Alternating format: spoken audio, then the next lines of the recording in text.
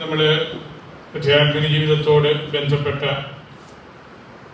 വലിയൊരു ഉണർവിന്റെ അടയാളമായിട്ടാണ് ഈ സ്ഥാപനം ഇവിടെ പണിത് ഉയർത്തി ഇന്ന് ആശീർവദിച്ച് ഇവിടെയുള്ള ദേശവാസികൾക്ക് നമുക്ക് ഓരോരുത്തർക്കും വേണ്ടി നൽകപ്പെടുന്നത്. കർത്താവ് നമ്മളോട് കാണിച്ച വലിയ കാരുണ്യത്തിന്റെ അടയാളമായിട്ടാണ് ഇതിനെ നമുക്ക് മനസ്സിലാക്കാൻ സാധിക്കുന്നത്. നമ്മളുടെ ദേശത്തും വിദേശത്തും എല്ലാം ദൈവ വചനവുമായിട്ട് ഓടി നടക്കുന്ന രണ്ട് അനുഗ്രഹീത പുരോഹിതന്മാരാണ് ശിവർഖാൻ അച്ഛനും ബിനോയി അച്ഛനും അദ്ദേഹത്തിന്റെ സഹപ്രവർത്തകരായിട്ടുള്ള മറ്റു ടീം അംഗങ്ങളുമെല്ലാം.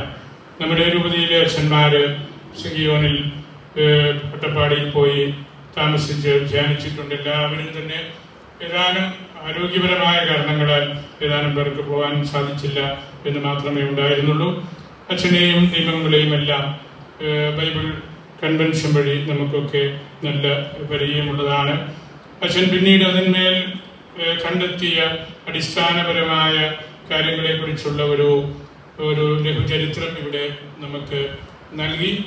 അത് സഭയുടെ വളർച്ചയിൽ ആധ്യാത്മികമായിട്ടുള്ള കാഴ്ചപ്പാടിൽ വൈദിക പരിശീലന രംഗത്ത് പ്രത്യേകമായിട്ടുള്ള സമർപ്പിതരുടെ കോൺഗ്രിഗേഷൻ ഇതിലെല്ലാം നമ്മുടെ പരിശുദ്ധ സിനഡ് അംഗീകരിച്ച് ആശീർവദിച്ച് കൊടുത്തിട്ടുള്ള കാര്യങ്ങളാണ്. അത് ടായിച്ചന്റെ ആ റിക്വസ്റ്റ് മനത്തോടത്ത് പിതാവ് സിനഡിൽ വെച്ചപ്പോൾ നമ്മുടെ വലിയ പിതാവ് താല്പര്യപൂർവം എടുക്കുകയും സിനഡിന്റെ പൂർണമായ അംഗീകാരം നേടിക്കൊണ്ട് നമ്മുടെ സഭയിൽ പുതിയ ഒരു ഒരു ദർശനം തന്നെ കൊടുക്കാനായിട്ട് ഈ ആധ്യാത്മിക മുന്നേറ്റ പ്രസ്ഥാനങ്ങൾക്ക് സാധിച്ചു എന്നത് വിലപ്പെട്ട ഒരു കാര്യം തന്നെയാണ്. ഞാൻ ദീർഘമായ സമയം എടുക്കുന്നില്ല. ഒന്ന് രണ്ട് ചെറിയ ചിന്തകൾ ഈ ഇത് പ്രാക്ടിക്കലി ഒരു വചന പ്രഘോഷണ കേന്ദ്രമാണ്. എന്നാൽ ഒരു പള്ളിയും കൂടിയാണ് നിങ്ങൾക്കറിയാം. പള്ളിയുടെ നമ്മുടെ സ്വരമലബാൽ സഭയുടെ പൈതൃകത്തോട് ചേർന്നുള്ള പള്ളിയുടെ എല്ലാ ഉത്തമാംശങ്ങളും ചേർത്താണ് ഇത് പണിതിരിക്കുന്നത്. നമ്മുടെ കിഴക്കേ ഭിത്തിയോട് ചേർന്ന് ബലിപീഠമുണ്ട്. ആ ബലിപീഠത്തിന്റെ നടുക്ക് ദപ്പ കല്ല് വെച്ചിട്ടുണ്ട്. ദപ്പ എന്ന് പറഞ്ഞാൽ ഒരു പോർട്ടബിൾ അൾത്താരയാണ്. നമുക്ക് എടുത്തുകൊണ്ട് പോകാവുന്ന അൾത്താര. അത് തടിക്കഷ്ണമാണ്.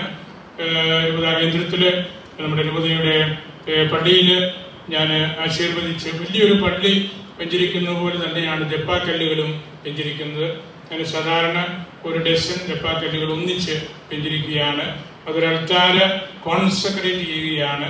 വിശുദ്ധ മൂറോൻ കൊണ്ട് രണ്ട് മണിക്കൂർ എടുക്കുന്ന ഒരു കർമ്മമാണ്. ആ കല്ല് ആ ജപ്പാക്കല്ല് നമ്മൾ എവിടെ സ്ഥാപിക്കുന്നുവോ അത് രണ്ട് മണിക്കൂർ നമ്മുടെ കർമ്മമെടുത്ത് ആശീർവദിക്കുന്ന കോൺസെൻട്രേറ്റ് ചെയ്യുന്ന വലിയൊരു ദേവാലയം പോലെ തന്നെയാണ്. ആ ജപ്പ കല്ല് നമ്മൾ ചാലിയുടെ നടുക്ക് വെച്ചിട്ടുണ്ട്.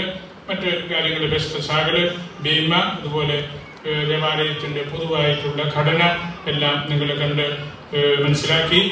ഒപ്പം ഇത് ദേവാലയ കർമ്മങ്ങൾക്ക് സർവപ്രധാനമായ കാര്യമാണല്ലോ വചന പ്രഘോഷണം. ഇവിടെ പ്രധാനമായിട്ടും അതാണ് ഉദ്ദേശിക്കുന്നത്. ഓരോ ദിവസവും ഇവിടെ പൊതുവായിട്ടുള്ള കുർബാന അർപ്പണ അർപ്പണമല്ല ഉദ്ദേശിക്കുന്നത്. ദൈവജനത്തോട് ഏഹ്, ദൈവത്തിന്റെ വചനം പ്രഘോഷിക്കുവാനുള്ള ഒരു കരിയാലയം പോലെയാണ് ഇത് നിർമ്മിക്കപ്പെട്ടിരിക്കുന്നത്. ദൈവവചനത്തെക്കുറിച്ച് ഞാൻ ഒന്ന് ചെറിയ ചിന്തകൾ പറഞ്ഞ് അവസാനിപ്പിച്ചുകൊള്ളാം. ഉത്തമഗീതം ഒന്ന് പതിനഞ്ചിൽ നിന്റെ കണ്ണുകൾ പ്രാക്കളെ പോലെയാണ് നിന്റെ കണ്ണുകൾ പ്രാക്കളുടേത് പോലെയാണ് നമ്മൾ എല്ലാവരും കണ്ടിട്ടുണ്ട്. അതിന്റെ കണ്ണിന്റെ വിശേഷം അത് പുറത്തേക്ക് ഉരുണ്ട് നല്ല ആകർഷകത്വം ഉള്ളതാണ്. നിന്റെ കണ്ണുകൾ പ്രാക്കളെ പോലെയുള്ളതാണ് എന്നതിന് റിച്ചാർഡോ ഷെയ്ൻ വിക്ടർ കൊടുത്തിരിക്കുന്ന നിർദ്ദേശം ഇതാണ്. വിശുദ്ധ ലിഖിതം മനസ്സിലാക്കാൻ പ്രാക്കളുടെ കണ്ണുകൾ നിങ്ങൾക്ക് വേണം. നല്ല വെളിച്ചമുള്ള നല്ല പവർഫുൾ ആയിട്ടുള്ള കണ്ണുകൾ വേണം. ആ തിരുവചനത്തെ റിച്ചാർഡോ സിൻ വിക്ടർ എന്ന ആ ഒരു വലിയ പണ്ഡിതൻ ദൈവവചനം വായിച്ച് പഠിക്കാനുള്ള ഒരു തിരുവചനമായിട്ട് പഴയ നിയമത്തിലേക്ക് പോയി അതിനെ കുട്ടി യോജിപ്പിച്ച് നമ്മോട് സംസാരിക്കുകയാണ്. രണ്ട് തിമത്തി മൂന്ന് പതിനാറ് പതിനേഴിൽ വിശുദ്ധ ലിഖിതങ്ങളെല്ലാം ദൈവനിവേശിതമാണ്. അവ പ്രബോധനത്തിനും ശാസനത്തിനും തെറ്റുതിരുത്തലിനും നീതിയിലുള്ള പരിശീലനത്തിനും ഉപകരിക്കുന്നു. ഇതുവഴി ദൈവഭക്തനായ മനുഷ്യൻ പൂർണത പ്രാപിക്കാനും എല്ലാ പ്രവൃത്തികളും ചെയ്യുന്നതിനും പ്രാപ്തനാകുന്നു. അതാണല്ലോ ഈ പതിറ്റാണ്ടുകളിലൂടെ ബഹുമാനിതരായ ഈ സേവ്യർ അച്ഛനും ബിനോയി അച്ഛനും എല്ലാം നേടിയെടുത്ത കാര്യം. അവർ ലോകം മുഴുവനും അവർ ഈശോയുടെ സുവിശേഷവുമായിട്ട് എത്തിയവരാണ്. അക്ഷരാർത്ഥത്തിൽ തന്നെ അത് അത് ശരിയാണ്. അങ്ങനെ വലിയൊരു ഒരു ശുശ്രൂഷ അവർ ചെയ്തുകൊണ്ടിരിക്കുന്നു. ഞാൻ സൂചിപ്പിച്ച സെന്റ് വിക്ടർ തന്നെ പറഞ്ഞിട്ടുള്ള മറ്റൊരു കാര്യം എല്ലാ വിശുദ്ധ ഗ്രന്ഥങ്ങളും നമ്മുടെ എഴുപത്തിരണ്ട് പുസ്തകങ്ങളും ഒറ്റ പുസ്തകമാണ് വിശുദ്ധ ഗ്രന്ഥമാണ്. ആ ഒറ്റ പുസ്തകമാണ് ഈശോ മിശിക എത്രയോ നല്ലൊരു പ്രബോധനമാണ്. എല്ലാ പുസ്തകങ്ങളും കൂടി ഒറ്റ പുസ്തകമാണ്. ആ ഒറ്റ പുസ്തകം ഈശോമിശികായാണ് ഈശോമിശികായെ കുറിച്ച് പ്രഘോഷിക്കുവാനാണ് ഈ വൈദികര് അവരുടെ ടീം അവരുടെ പിതാക്കന്മാര് വളരെ ശ്രദ്ധേയമായ താല്പര്യം കൊടുത്ത് ഇവരെ ഒരിക്കലും ഇതുപോലെ ഈ ലോകം മുഴുവനും യാത്ര ചെയ്യാനായിട്ട് അനുവദിക്കുന്നത്. പരിശുദ്ധ റൂഹായുടെ കൃപയാൽ മറിയത്തിന്റെ ഉദരത്തിൽ വചനം ഉരുവായതുപോലെ തന്നെയാണ്. അതേ റൂഹായുടെ ശക്തിയാൽ സഭയുടെ ഉദരത്തിൽ വിശുദ്ധ ഗ്രന്ഥവും ഉരുവാക്കപ്പെട്ടത്. അതാണ് അടിസ്ഥാനപരമായ പ്രബോധനം. സഭയുടെ ഉദരത്തിൽ രൂപീകരിക്കപ്പെട്ടതാണ് വിശുദ്ധ ഗ്രന്ഥം. അതാണ് അതിന്റെ പ്രാധാന്യം. ഓരോ തിരുവചനവും സഭാത്മകമായിട്ടാണ് നമ്മൾ വ്യാഖ്യാനിക്കുന്നത്. നമുക്കിഷ്ടം പോലെ വ്യാഖ്യാനിക്കാനോ പറയാനോ സാധ്യമല്ല. വചനം ശ്രമിക്കുന്നവരായിട്ട് നമ്മൾ കാതോർത്ത് ജീവിക്കണം. പരിശുദ്ധ എമിനിറ്റസ് പാപ്പ വീർഗോ ഔദിയൻസ് എന്നൊരു പ്രയോഗം പലതവണ നടത്തിയിട്ടുണ്ട്. വീർഗോ കന്യക ഔദിയൻസ് കേൾക്കുന്ന ശ്രവിക്കുന്ന കന്യക. അത് പരിശുദ്ധ അമ്മയെക്കുറിച്ചും വിശാലമായ അർത്ഥത്തിൽ ഏഹ്, സഭയെക്കുറിച്ചുമാണ്. സഭയാണ് ശ്രവിക്കുന്ന കന്യക.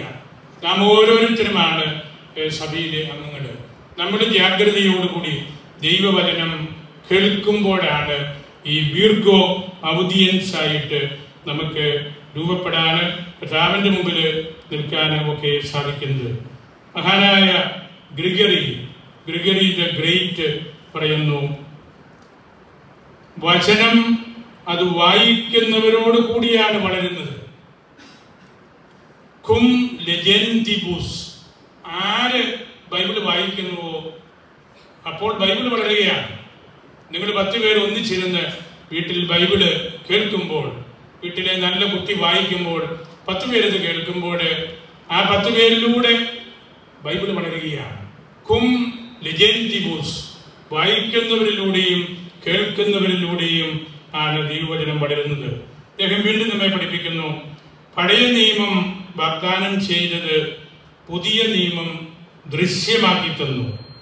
പഴയ നിയമം നിഗൂഢമായി പറഞ്ഞു വെച്ചത് പുതിയ നിയമം വർത്തമാനകാലത്ത് നടക്കുന്നത് പോലെ തുറന്ന് പ്രഖ്യാപിക്കുന്നു. അതുകൊണ്ട് പഴയ നിയമം പുതിയ നിയമം സംബന്ധിച്ച ഒരു പ്രവചനമാണ്. പുതിയ നിയമമാകട്ടെ പഴയ നിയമത്തിന്റെ ഏറ്റവും നല്ല കമന്ററിയുമാണ്. അങ്ങനെയാണ് അദ്ദേഹം ഈ പഴയ നിയമത്തെയും പുതിയ നിയമത്തെയും തമ്മിൽ കൂട്ടി യോജിപ്പിച്ചത്. ഒരിക്കലും നമുക്ക് മറക്കാൻ പറ്റാത്ത കാര്യമാണ് വിശുദ്ധനായ ലോകം കണ്ട ഏറ്റവും വലിയ പണ്ഡിതനായ ജെറോം തിരുവചനത്തെക്കുറിച്ച് ദൈവവചനത്തെക്കുറിച്ച് വചന പ്രഘോഷണത്തെക്കുറിച്ച് പറഞ്ഞിരിക്കുന്നത് ഇപ്രകാരമാണ്. വിശുദ്ധ ഗ്രന്ഥം കൂടെ കൂടെ വായിക്കണം. വിശുദ്ധ ഗ്രന്ഥം ഒരിക്കലും നിന്റെ കയ്യിൽ നിന്ന് താഴെ വയ്ക്കരുത്. വിശുദ്ധ ഗ്രന്ഥത്തെക്കുറിച്ചുള്ള അജ്ഞത മിശിഹായെക്കുറിച്ചുള്ള അജ്ഞതയാണ്. നമ്മൾ ഈ കാലഘട്ടത്തിൽ ഏറ്റവും കൂടുതൽ ശ്രദ്ധിക്കേണ്ട തിരുവചനം പോലെ സ്വീകരിക്കേണ്ട ഒരു പ്രബോധനമാണ് വിശുദ്ധ ജെറോമിന്റേത് കൂടെ കൂടെ ബൈബിൾ വായിക്കണം. ബൈബിൾ നമ്മുടെ കയ്യിൽ നിന്ന് താഴെ വയ്ക്കരുത്.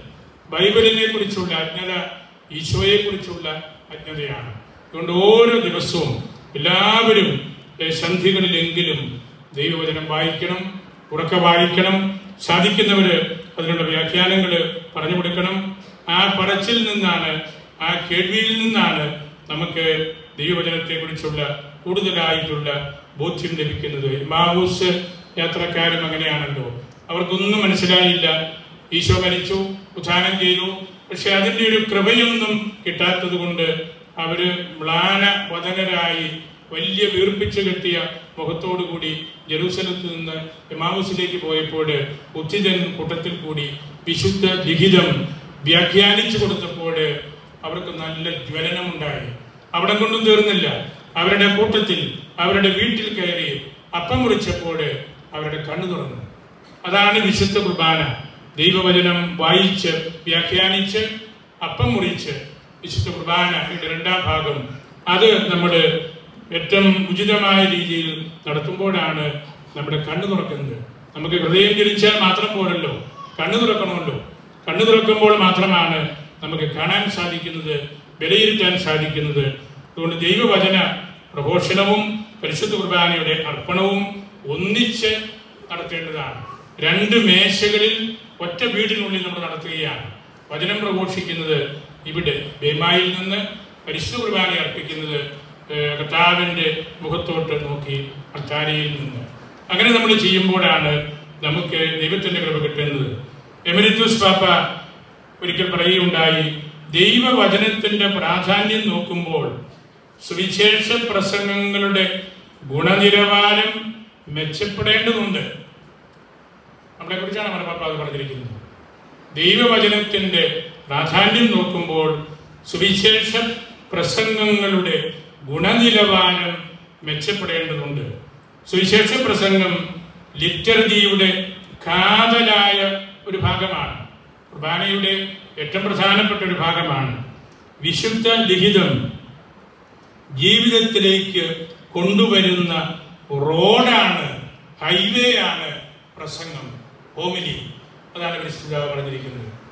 വിശുദ്ധ ലിഖിതം നമ്മളുടെ ഹൃദയങ്ങളിലേക്ക് കൊണ്ടുവരുന്ന ഹൈവേ ആയിട്ട് പരിശുദ്ധ പിതാവ് ദൈവവചനം വ്യാഖ്യാനിക്കുന്ന അച്ഛന്റെ ശുശ്രൂഷയെ കാണുമ്പോൾ അതിന്റെ പ്രാധാന്യം എത്ര വലുതാണെന്ന് നമുക്കറിയാം. കൊച്ചുദേശീയ പുണ്യവതി പറഞ്ഞല്ലോ ഞാൻ സുവിശേഷത്തിലേക്ക് കണ്ണോടിച്ചാൽ മാത്രം മതി.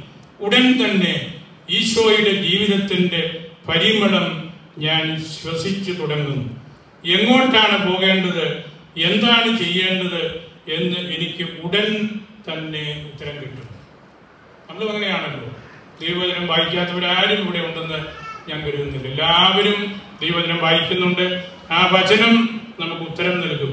ഈശോ പറഞ്ഞല്ലോ വചനം വായിക്കാത്തത് കൊണ്ടല്ലേ നിങ്ങൾക്ക് തെറ്റുകൾ പറ്റുന്നത്? ദൈവത്തിന്റെ വചനം വായിച്ച് പഠിച്ച് ജീവിതത്തിൽ കൊണ്ടു നടക്കാത്തത് കൊണ്ടല്ലേ നമുക്ക് തെറ്റുകൾ പറ്റുന്നത്? അതിനുള്ള ഒരു പരിഹാരമാണ് ഈ ഭവനവും ഇതിന്റെ ശുശ്രൂഷകരായ വൈദികരും ഇതിനോട് ബന്ധപ്പെട്ട വൈദിക വിദ്യാർത്ഥികളും മറ്റ് ശുശ്രൂഷകരായിട്ടുള്ള സഹോദരന്മാരുമെല്ലാം പരിശുദ്ധ പണ്ഡിറ്റ് ഒരിക്കൽ പറഞ്ഞു ഓരോ വൈദികനും ഒരു ബൈബിൾ ടവറായിരിക്കണം.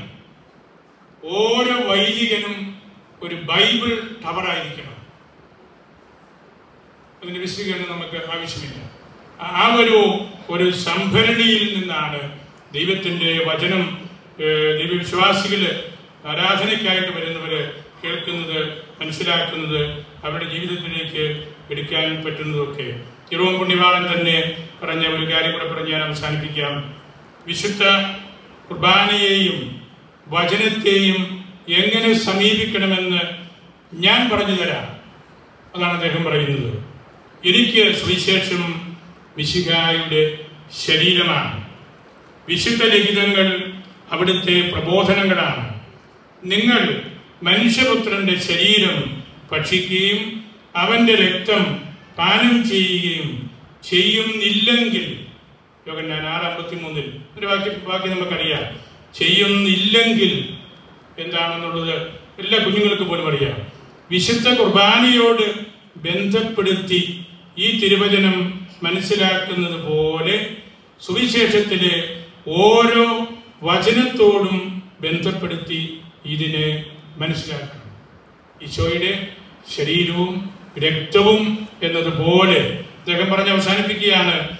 വിശുദ്ധ കുർബാനയുടെ ഒരു കഷ്ണം വൈദികന്റെ കയ്യിൽ നിന്ന് താഴെ പോയാൽ അച്ഛനുടെ മുട്ടയിൽ നിന്ന് ആ വിശുദ്ധ കുർബാന തിരിച്ചെടുത്ത് കുസ്തോതിയിൽ വെച്ച് അവിടെ കഴുകി തുടച്ച് ആ നിലം ചുംബിച്ചിട്ടാണ് വീണ്ടും വിശുദ്ധ കുർബാന കൊടുക്കാനായിട്ട് മാറുന്നത്.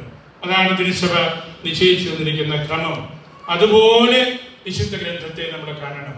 നമ്മൾ ആ അതിനോട് ആദരവില്ലാണ്ട് ബഹുമാനമില്ലാണ്ട് കുറേ പുസ്തകങ്ങളുടെ കൂട്ടത്തിൽ എവിടെയെങ്കിലും കൊണ്ടുപോയിട്ടു വായിക്കാൻ നോക്കുമ്പോൾ കണ്ടെത്തുന്നില്ല. അങ്ങനെ നമ്മൾ കാണരുത്. ഈശോയാണ് ഈശോയുടെ ശരീരമാണ് ഈശോയുടെ സഭയാണ് ഈശോയുടെ രക്തമാണ് എന്ന രീതിയിൽ തന്നെ നമ്മുടെ ദൈവവചനത്തെ കാണണം എന്ന് ഏറ്റവും വലിയ പണ്ഡിതനായ ജെറോം പഠിപ്പിക്കുന്നത് നമ്മൾ ഒരിക്കലും മറന്നു പോകരുത്. ഞാൻ സമയ പരിമിതി പോലെ ഇവിടെ അവസാനിപ്പിക്കുകയാണ്. രണ്ടാമത്തെ ജ്ഞാൻ ദിവസം ആവർത്തിച്ച് പഠിപ്പിച്ച കാര്യം അതാണല്ലോ. ദൈവജനത്തിന് വിശുദ്ധ ലിഖിതമെന്ന പോഷകാഹാരം ഫലപ്രദമായി ലഭ്യമാകുന്ന രീതിയിൽ വചനം വിശദീകരിച്ച് കൊടുക്കണം. ഈ പോഷകാഹാരം മനസ്സിന് വെളിച്ചം പകരുന്നു. ഇച്ഛാശക്തിക്ക് ബലം നൽകുന്നു. ജനങ്ങളുടെ ഹൃദയങ്ങളെ ദൈവസ്നേഹത്തിൽ ജ്വലിപ്പിക്കുന്നു. ഇതാണ് കൗൺസിൽ പഠിപ്പിച്ചിരിക്കുന്നത്. ഞാൻ അവസാനിപ്പിക്കട്ടെ. ഈ ചിന്തകളാണ് ഇവിടെ ഈ വലിയ പ്രഘോഷകര് ലോകത്തിന്റെ അതിർത്തികൾ വരെ പോയി ധൈര്യമായിട്ട് സുവിശേഷം പ്രസംഗിക്കുന്നവരാണ്. അട്ടായച്ചനും നമ്മളുടെ ഇവിടുത്തെ ഏറ്റവും പ്രിയപ്പെട്ട ബിനോയച്ചനുമൊക്കെ അവർ നിക്കോദയമൈൻസ് അല്ല. നിക്കോദയമസ് ആരായിരുന്നു രാത്രി പോയി ഞാൻ ഈശോയെ വിശ്വസിക്കുന്നു പറയുന്ന ആളാണ് പേടിയായിരുന്നു. അങ്ങനെയുള്ളവരെയാണ് നിക്കോദേമൈൻസ് എന്ന് വിളിക്കുന്നത്. രാത്രിയിൽ വിശ്വാസമുണ്ട്. പകൽ പറയാൻ ധൈര്യമില്ല. ഇവരൊക്കെ എന്തുമാത്രം ചീത്തന്തരം കേട്ടാണ് ഈശോയാണ് ഏകരക്ഷകൻ എന്ന് ആഫ്രിക്കയിലും ബ്രസീലിലും അമേരിക്കയിലും ഇംഗ്ലണ്ടിലും ഏഷ്യയിലെ മറ്റെല്ലാ സ്ഥലത്തും പോയി പ്രഘോഷിക്കുന്നത്. അതാണ് ഞാൻ പറഞ്ഞത്. ഇവരാണ് ബൈബിൾ ടവേഴ്സ് ആയിട്ട് നിൽക്കുന്നത്. ധൈര്യമായിട്ട് ദൈവത്തിന്റെ വചനം വിശ്വാസികൾക്ക് പറഞ്ഞു കൊടുത്ത് മനസാന്തരത്തിന്റെ വഴികളിലേക്ക് നമ്മുടെ ആളുകളെ കൊണ്ടെത്തിക്കണം. നമ്മുടെ സുവിശേഷത്തിൽ കാണുന്ന പ്രതീകമുണ്ടല്ലോ. നമുക്ക് ഒരുപാട് പോരായ്മകളുണ്ട്. അവിടെയാണ് കാരുണ്യത്തിന്റെ മുഖമായിട്ട് മെഴ്സി ഭവനായിട്ടാണല്ലോ. അഗസ്റ്റീനോസ് ഈ തെറ്റിൽ പിടിക്കപ്പെട്ട ആ സ്ത്രീയും ഈശോയും തമ്മിൽ നിൽക്കുന്ന ആ രംഗത്തെക്കുറിച്ച് പറയുന്ന ഒരു കാര്യമുണ്ട്. ധൈര്യമുള്ളവര് ഉള്ളവര് പാപം ചെയ്യാത്തവര് കല്ലെറിയട്ടെ. കയ്യിലുള്ള കല്ലുമൊക്കെ ഇട്ടിട്ട് എല്ലാവരും അവർക്ക് ടേറ് കിട്ടാണ്ട് വീട്ടിൽ പോയി. അതാണല്ലോ ഇവിടെ സംഭവിച്ചത്. ഒറ്റയെണ്ണത്തിന് കല്ല് കയ്യിലുണ്ടെങ്കിലും എറിയാൻ ധൈര്യം വന്നില്ല. അതേക്കുറിച്ച് ആഗസ്റ്റിനോസ് പറയുന്നുണ്ട് ആ രംഗം മീശ്വര എത്തും മിസരിക്കോർദിയ. മീശ്വര പാപം ചെയ്ത ഒരു പെണ്ണിന്റെ അവസ്ഥയാണ്. മീശ്വര എത്ത് ആൻഡ് മിസരിക്കോർദിയ കാരുണ്യം മെഴ്സി പാപം ചെയ്ത വ്യക്തികളോട് എങ്ങനെയാണ് കാരുണ്യം കാണിക്കേണ്ടത്? ആ ആ പ്രയോഗശൈലി മീശ്വര എത്ത് മിസരിക്കോർദിയ ലോകം മുഴുവൻ അറിയപ്പെട്ട രണ്ട് വാക്കുകളാണ് അഗസ്തീനോസിന്റെ. ഈ സുവിശേഷ വാക്യത്തിൽ നിന്ന് എടുത്തതാണ്. ഇവിടെയും നമുക്ക് സംഭവിക്കേണ്ടതാണ്. എല്ലാ മനുഷ്യർക്കും തെറ്റുകളുണ്ട് കുറവുകളുണ്ട് പോരായ്മകളുണ്ട് സങ്കടങ്ങളുണ്ട്. ആ അവസ്ഥയാണ് മിശ്ര അല്ലാതെ ഡിസ്റ്റേബ്ഡ് ആയിട്ടുള്ള. അവിടെ നമുക്ക് മിശരിക്കോർദിയ ഈശോ എന്ന ആ കാരുണ്യം ആ മേഴ്സിയാണ് ആവശ്യം അത് നിരന്തരമായിട്ട് ഈ ഭവനത്തിൽ നിന്ന് സമൃദ്ധമായിട്ട് ലഭിക്കട്ടെ. ശിവർക്കാനച്ഛനെ ഞാൻ പ്രത്യേകമായിട്ട് ഒരിക്കൽ കൂടി ഓർക്കുന്നു. അദ്ദേഹം ഞങ്ങൾക്ക് മിത്രാന്മാർക്ക് അതുപോലെ വിദേശത്തുള്ള വൈദിക പ്രസ്വിത്യറിയങ്ങൾക്കെല്ലാം ദൈവജനം പ്രഘോഷിക്കുന്ന ആളാണ്. ഡോയച്ചനും അതുപോലെ തന്നെയാണ്. നമ്മൾ ഈ ഡിസംബറിൽ ഇവരെയാണ് കേൾക്കാൻ പോകുന്നത്. നമ്മളത് നോക്കി പാർത്തിരിക്കുകയാണ്. ദൈവവചനത്തിന്റെ അഭിഷേകം അവിടെ ഉണ്ടാകും. നമുക്ക് നല്ല മനസാന്തരത്തിനുള്ള അവസരമാണ്. സിനഡൽ വർഷങ്ങളാണിത്. കേരള സഭ നവീകരണത്തിന്റെ നാടുകളാണ് സാമൂഹ്യ നന്മകൾക്കെതിരെ നമ്മൾ യുദ്ധം ചെയ്യേണ്ടവരാണ്. സത്യവിശ്വാസത്തിൽ നിന്ന് തെറ്റിപ്പോകാതെ നമ്മൾ പിടിച്ചു നിൽക്കേണ്ടവരാണ്. അതിനെല്ലാമുള്ള കരുത്ത് നമുക്ക് ലഭിക്കുന്നത് ദൈവ വചനത്തിൽ നിന്നും പരിശുദ്ധ കുർബാനയിൽ നിന്നുമാണ്. അതിന് നമ്മെ കൂടുതൽ പ്രാപ്തരാക്കാനായിട്ട് ബഹുമാനപ്പെട്ട സേവർ ഖാനച്ചനും നോയച്ചനും ഈ ടീമിനും അവരോട് ബന്ധപ്പെട്ട സമർപ്പിതര് വിദ്യാർത്ഥികൾ വലിയ പ്രാർത്ഥന ഗ്യാതറിങ്സ് എല്ലാം അവർക്കുണ്ട് അവരെ ഞാൻ പ്രത്യേകമായിട്ട് ഓർക്കുന്നു. ദൈവത്തിന്റെ വലതുകരമാണ് അവരെ ഇതുപോലെ പിടിച്ച് നിർത്തുന്നത്. നാരകീയ ശക്തികൾക്കൊന്നിനും ഇവരെ കീഴ്പ്പെടുത്താൻ പറ്റിയിട്ടില്ല. ഈശോ പറഞ്ഞ കാര്യം തന്നെയാണ്. ദൈവത്തിന്റെ വലതുകരം ഇവരുടെ മേലുണ്ട്. അത് നമ്മുടെ പേരും ഉണ്ടായിരിക്കണം. നമ്മുടെ കുഞ്ഞുങ്ങളും അതുപോലെ വളരണം. വിശുദ്ധ സക്രാരിയിൽ സൂക്ഷിക്കുന്ന ആ ദൈവിക യാഥാർത്ഥ്യത്തെ പോലെ കുട്ടികളെ കരുതണമെന്ന് പരിശുദ്ധ പിതാക്കന്മാർ പഠിപ്പിച്ചിട്ടുണ്ടല്ലോ. എത്രയോ നല്ല പ്രബോധനമാണ് റോമായിലെ പരിശുദ്ധ പിതാക്കന്മാർ നമുക്ക് തന്നിട്ടുള്ളത്.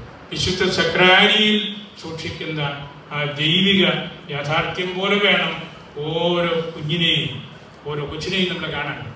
മാർപ്പാപ്പ വിശദീകരണം പറയുന്നു ഓരോ കുഞ്ഞും സ്വർഗത്തിന്റെ ഒരു കഷ്ണമാണ്. സ്വർഗമാണല്ലോ ഈശോ.